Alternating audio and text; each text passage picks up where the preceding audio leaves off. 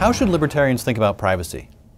Privacy is obviously something that we prize very highly, and we certainly sense that today privacy is very threatened. But what are the ways philosophically to think about it? What are the structures in our thinking that we should use as libertarians about privacy? I'm not really going to answer the question, how should libertarians think about privacy? I'm just going to tell you what I think about privacy. You can decide for yourself whether you want to use it. The first thing to do is define the subject matter. What is privacy?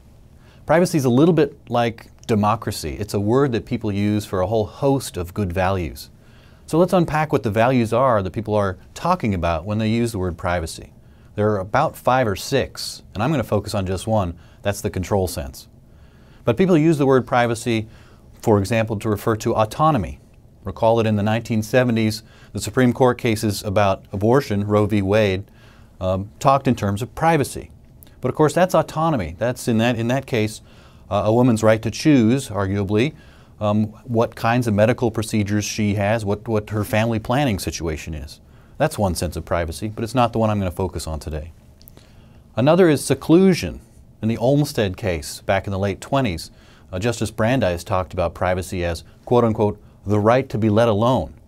And just a few years ago, the Federal Trade Commission instituted a do not call policy that was immensely popular because people were so angry about getting telephone calls at home during the dinner hour. They were interested in seclusion, that is being left alone by other people. Well, that's one version of privacy too. Another is personal security. You're probably familiar with the, the concept of identity fraud, or often called identity theft. Now, people deal with that as a privacy problem. They talk about the privacy problem, when really the problem is people using your identity to defraud financial services providers. In the process, they give you a terrible financial reputation and ruin your credit score.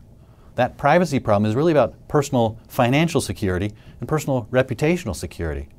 There are also examples that are slightly gruesome, where murders have happened because people have gotten access to personal information about others, their addresses. Uh, there was a man named Liam, Liam Youens some years ago who stalked a, a, girl at his high school for years and years and then went to a, a data provider to find out her address. He went to her home and killed her there. An actress named Rebecca Schaeffer out in California was killed by a stalker after he got her address from the California Department of Motor Vehicles, went to her house. After that, states across the country and the federal government passed, passed laws called Driver's Privacy Protection Acts because they saw personal information being used to actually physically harm people. Well, that's a dimension of privacy too, or a privacy value, personal security. There's a dimension of privacy that you might call dignity or anti-objectification. Um, that's people, it's more of a European sense of the word privacy, uh, and it's an anti-commercial sense in a way because it's people who don't like to be objectified commercially. If you're just a target of marketing, if people are collecting information about you for marketing purposes, that offends. That offends what they call their sense of privacy, a dignity dimension of privacy. Of course, there's fairness. Sometimes when information about you is available widely, it's used to make decisions that are wrong, and people will talk about that as a privacy problem. The Fair Credit Reporting Act is an example of a federal statute that's supposed to fix this problem. It hasn't necessarily done so, but that so many people think of as a privacy law because it controls information and the uses of information so that good decision making happens. It relies on one having good data about people and a, a well-tuned algorithm when we're talking about computers and technology. That's kind of a privacy idea too. The main sense of privacy and, the, and the, the version of privacy that I think is strongest is the control sense of privacy. Uh, Alan Westin, in a great book called Privacy and Freedom in 1967, called Privacy the claim of individuals or groups or institutions to determine for themselves when, how, and to what extent information about them is communicated to others. He went into a lot of the anthropology of privacy, and I was really interested by his book because he wrote about the Tuareg tribe, which is a tribe in northern Africa fascinating in many respects because it's a Muslim tribe in which men wear veils. They're called les hommes bleus, the blue men, because their, their clothing is very dark blue and it actually comes off on their skin and, and turns them blue. But the men in this society wear veils across their faces, and there was anthropological study of how they wore their veils, up high for formal purposes, down low among friends, not at all among non-Tuareg people. This was a way in, in precision of how they shared and withheld information based on specific social circumstances. And thinking about privacy in terms of anthropology is really helpful actually because because we can think of our own use of clothing. When do we where do we put our hemlines? How do we wear our shirt? What's the nature of the fabric we put on? Do we wear a hat or not? When we wear a hat, do we wear it high or low? These are all signals. It's information sharing and information withholding. Sometimes we tell fibs to other people, white lies. Sometimes we withhold information altogether from people who might be interested in it. These are common, common social behaviors, and it's all part of privacy protection. Even the spaces that we live in are designed for information sharing and withholding. Think about the layout of your house. The bedrooms are apart from the common rooms, and that's simply so that what happens in the bedroom can be relatively private to others. Sometimes parents will choose the location of their room versus the children's rooms for distance, so that they can get good sleep, or proximity, so that they can make sure that the kids aren't sneaking out at night. All this information sharing and withholding is kind of the sociology or the anthropology of privacy. And it's important, I think, to understand that privacy is important definitionally for our lives. What we share with others defines us to them. What we withhold from, from others also defines us as to them. If we can't control information about ourselves, we can't define ourselves. Instead, we're defined by some, someone or something else. And that's part of why privacy is so important, socially and anthropologically. The definition that I use of privacy is a little bit more precise than Alan Westin's and a little bit more legalistic. I think of privacy as the subjective condition that people enjoy when they have the power to protect information about themselves and when they use this power consistent with their interests and values. Let me parse that out a little bit because it's a little bit complicated. First, privacy is a subjective condition. That is something that we define for ourselves. It's not something that someone, an outsider, can say we have or we do not have. That would be objective. I decide for me what I want to share and what I want to withhold from others. Think of some common examples of information that people treat as private very commonly. Medical information. It is sometimes extremely private, but you can easily find alternatives to privacy that people choose. For example, they'll write about or even put up pictures of surgeries that are very intimate or medical treatments they've undergone. They get some social benefit from sharing information about themselves. And of course, many medical conditions are obvious just from the looking at them. So if we say categorically, objectively, that medical information is inherently private, we're making a mistake.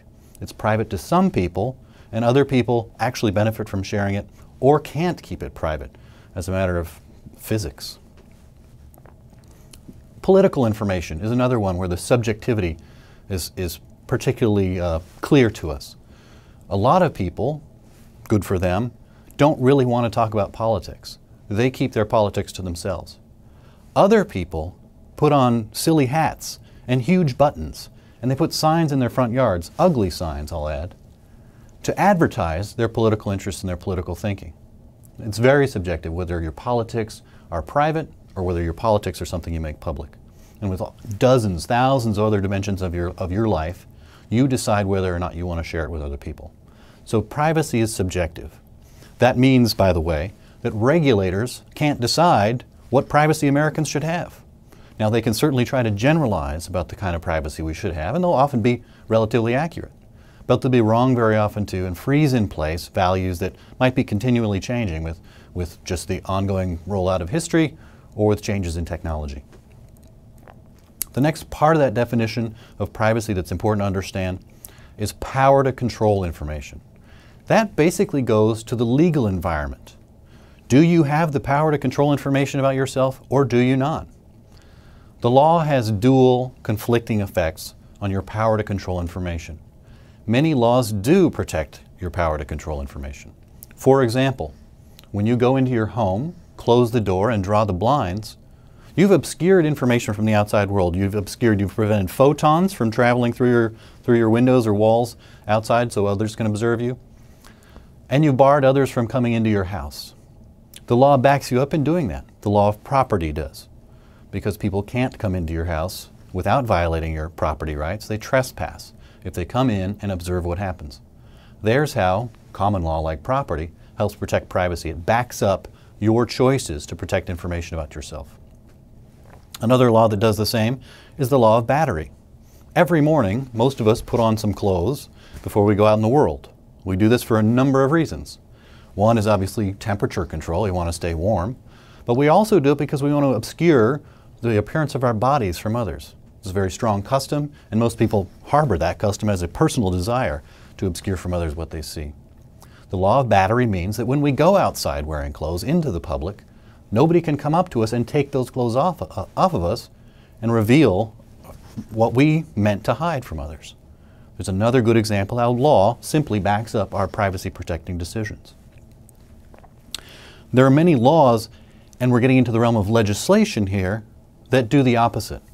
That is, that prevent us from protecting information about ourselves.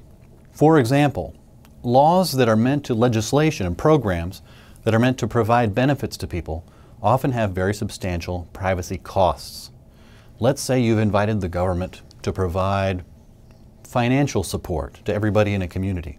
And part of that policy is that no one should fall below a certain level uh, below average support, uh, average income in the community. If you want to implement that policy, what you have to do is know the income of everybody in the community. And so the cost, the privacy cost of that beneficial program is to collect information about the financial wherewithal of everybody in the community. Let's say that a government program also wants to provide health care in the community. The program has to know about the health care, uh, certainly of the beneficiaries of the program, and often also of others in the community so that it can provide the appropriate health care. I'm fond of saying, and it's not too unfair, that the helping hand of government strips away privacy before it goes to work. Of course, there are many other laws that strip away privacy. Administration of the income tax, for example, makes it impossible for you to withhold from the government how much your income is. It makes it impossible for you to withhold, if you want to get your, your uh, tax deductions, uh, your housing situation, children, charitable benefits, medical expenses, and many, many other dimensions of your life. This is the law stripping away privacy and making you unable to protect information about yourself. There are many more examples. But the third part of this definition is really the hard part and that's exercise of control over information about yourself that's consistent with your interests and values. Now, people develop their privacy interests myriad ways through experience. Um, their, their parents teach them things. Um, they're cultural. There are all many, many dimensions to, to the privacy values that we all hold. But how we exercise them is, is sometimes difficult. We know how to do it in, in the real world. That is, putting on clothing. There are lots of customs we have that we're quite familiar with that, that we're good at. But in the online environment, it's very hard to do it because it's an all new world. We actually don't understand how information moves in the online environment. So we don't know how to put on digital clothes, as it were. The IP address that your computer has is signaled to anyone, any website that you visit. Did you know that? Do you know that they collect it? Do you know that they can share it with anybody else? And among all the, the collectors of this information, they can kind of figure out what you're all about? Same with cookies. Cookies are a a short script that your browser will collect and, and store on your computer. It'll share the fact that you visited a website before. This is often very helpful and it helps the website customize its products for you. You see something that's interesting to you the first time you go there. But the cookie will also serve as a tracking mechanism that tells that website about you and allows the website holder to tell others about you. Ad networks use cookies to track you across multiple websites. You should just know about this and decide for yourself whether you want to be sharing information like this. There are cookie controls in the major browsers, and there are other technologies coming online all the time to help you control this information in the online environment, but most people still don't know how and haven't done much about it. Uh, that's the big problem. In the future, going forward, as technology continues to roll out, we'll all struggle with how to protect privacy in this essentially new environment. It's worth talking about these things in, in technical terms. Um, we're very much used to photons and sound waves and even particulates, how to control information. We not, might not be specifically thinking in terms of photons and sound waves, but we know that if we want, to, want people to not see something, we cover it up. Literally stop photons from bouncing off it or stop photons from arriving at the eyes of others. If we want not to be heard, we lower our voices, and that prevents sound waves from reaching the person or people that we don't want to hear things. How do you do that in the digital environment? with sensors all around you. Sensors in, being your phone, your credit card, and lots of other technologies that you use. Those sensors are sending information out to others, and you don't know exactly where it's going. so you don't know what to do and you don't know what the consequences are of it. We're all going to learn about this stuff over the coming years, decades, and generations. We're into the real key threats to privacy already, and I think the number one threat to privacy is probably ignorance. It's just not knowing where information goes. We're pretty good at protecting privacy, like I said, here in the real world, the meat space, as the techies like to call it. But in the online environment, it's very hard to protect information. Privacy is really a product of personal responsibility. That is taking charge of information about yourself, figuring out how these technologies work, talking to other people, learning about their consequences, and deciding for yourself what information you want to share and what information you, don't want to share. Be a good consumer. Be a smart user of technology. Sometimes you should refuse to do things because of their privacy costs. I do, and I give myself lots of inconvenience that way. But I feel, I feel good having taken control of my personal information and protected my privacy. You can do the same. Government surveillance, of course, is one of the other, major threats to privacy. Now that's the idea, and it's a simple one. Uh, the government wants to find out specific things about you and specific things about people. Uh, it's certainly something we call on government to do in the context of legitimate law enforcement. So there's no argument that government surveillance should be banned entirely. But government surveillance is a key threat to privacy. And it's a threat that's growing, again, as we emerge into this high-tech environment. The technology uh, allows much more to be collected than ever before. It's put into digital form.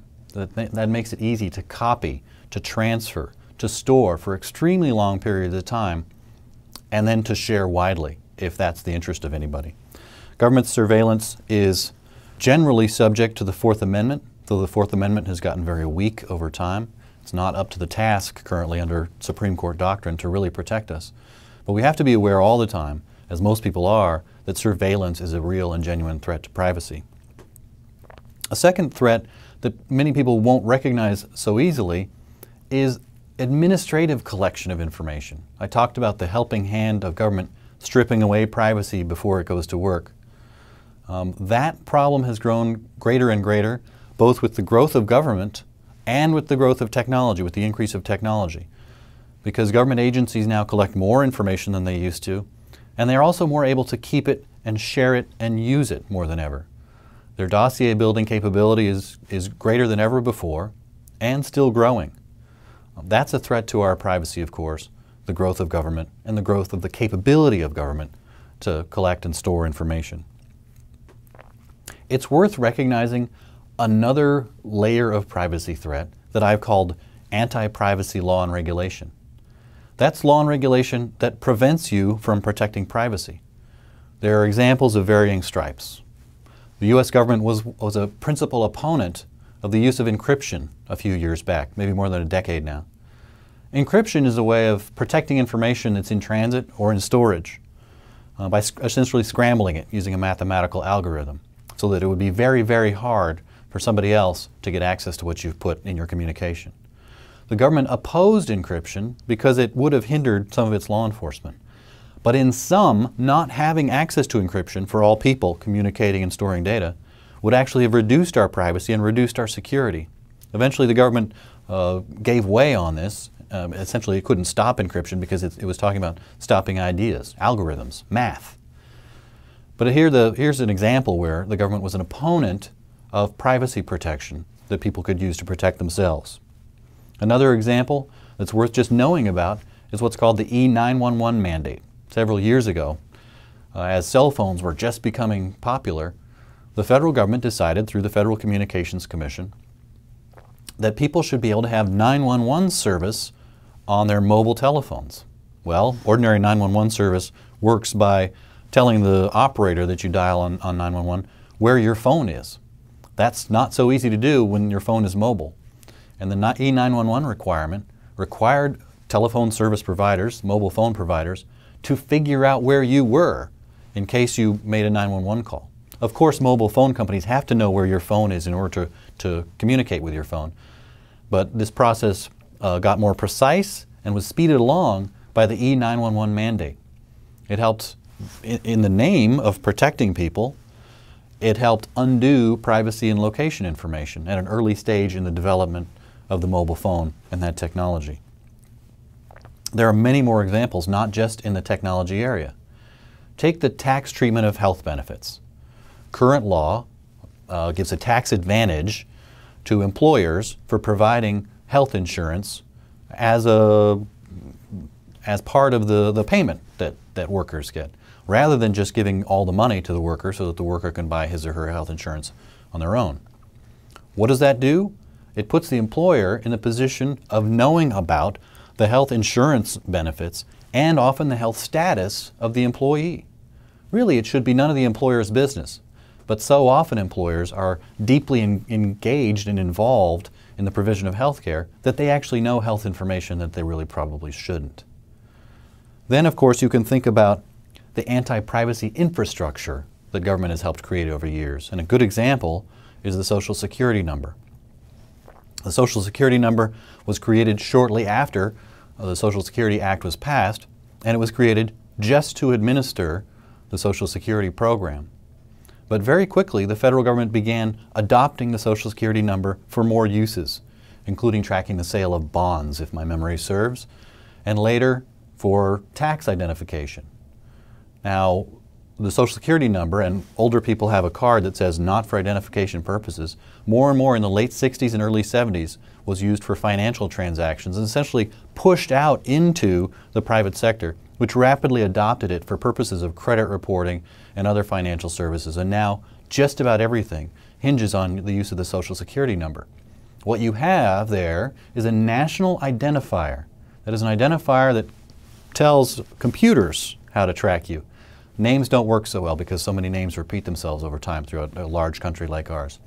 But a number like the SSN serves as a national identifier and makes it easier for governments and corporations to know exactly who they're dealing with every time they do deal with you, whether they have any business knowing who you are or not. And so it's part of the infrastructure, the information infrastructure that builds databases about us for use by governments and by corporations, sometimes for our benefit and sometimes not. I've talked a lot about the changes in technology and how they affect privacy, and that's the most important thing to understand going forward. Digitization is the abstraction of analog information like photons and sound waves and letters and numbers and symbols into ones and zeros. And the ones and zeros make it very easy to store information, make it very easy to copy information, very, very easy to process information in new ways, including data mining. Data mining is the idea of finding new patterns in data that allow you to predict more accurately what's coming in the future. There are lots of good uses for data mining and some that aren't so good. But the power of this abstraction, the power of digitization of ones and zeros, is something that will affect privacy profoundly. And it's important to pay attention to that going forward. Make yourself aware of all the sensors that you're using. For example, your credit card your phone, your computer. These are all sensors that are feeding databases of information, often for the better, but not always for the better. There are several upshots from digitization. One that I think is important to privacy is that government surveillance is easier than ever. We are pouring data about ourselves out into databases, often privately held, but many of them are publicly held. And the government can access, and this is important to realize, government can often access the privately held data. Fourth Amendment doctrine currently holds that information shared with a third party isn't something that we have a Fourth Amendment interest in. So our bank records, having been shared, we can't claim Fourth Amendment rights in. Perhaps our uh, communications online, having been provided to a third party, your ISP and your email service provider, uh, aren't subject to Fourth Amendment protections that we can enforce. These are serious problems, and the third party doctrine is probably the most troubling part of Fourth Amendment law right now, given that in today's technological era, we're moving all kinds of personal information about ourselves through third parties, sharing that information and giving up our Fourth Amendment rights, the court might say. Privacy is an essential part of exercising your liberty, but it's not a right. It's something that you create in the shelter of other rights, like the Fourth Amendment. And as I said, the Fourth Amendment is under siege these days, and it's weakened compared, compared to the technological context we're living in. Ultimately, if you want privacy, you're going to have to protect it yourself. And you should call on your neighbors and the businesses that you deal with to help you protect your privacy. I hope that what I've said today is helpful in your thinking. Maybe this is the way libertarians should think about privacy. Certainly it's the way I think about privacy.